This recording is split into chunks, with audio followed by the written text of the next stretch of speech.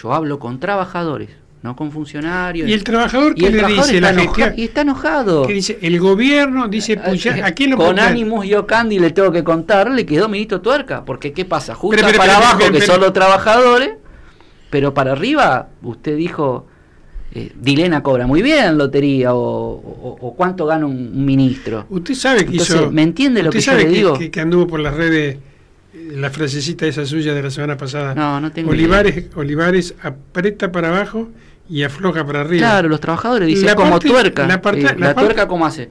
Cuando Sí, se hace así, así. ajusta, Ajusta para abajo. hace así, desajusta. Está bien, pero a ver. Esta parte la entiendo. La tuerca Ajusta para abajo. ajusta para abajo. Yo lo entiendo. Dice, te doy un 5 más un 5. Ujú. Y si la, esta inflación, que un poco más, en mi ley no hizo una joda, fue del 8,8, de esta nomás perdí 3 Sí. 3,8. Sí. Y, y vengo perdiendo, vengo perdiendo vengo perdiendo. Este, ahora, ¿por qué afloja para arriba? Y se lo estoy diciendo, ¿por qué los funcionarios de lotería cobran tanto? Ah, Cuando un docente cobra menos de 500 lucas. ¿Querés que a poner cara de? ¿Por qué un Ah. ministro gana lo que gana? ¿Querés que preguntemos en el Senado cuánto gana Gramajo hace mm, cuántos años? O sea, no me hagas hablar, Antonio, porque me- me- ahí sí me enojo.